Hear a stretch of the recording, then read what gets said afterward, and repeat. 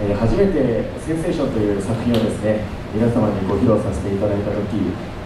果たして次はいつお会いできるのかというお話をさせていただきました。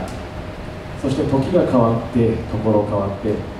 まさかこういった形でもう一度皆様にこの作品ご覧いただけることを本当に嬉しく思っております。もしあの当時をですねその場でもしくは動画などでご覧になっていた方がいらっしゃいましたらぜひ我々と一緒にその時の思いを馳せていただければと思っております。カモン大阪センセーションどうぞご覧ください。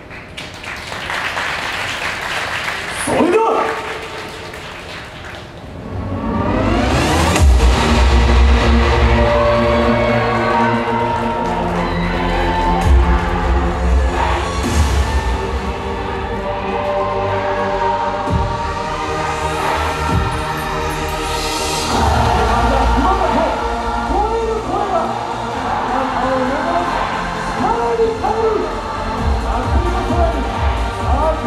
も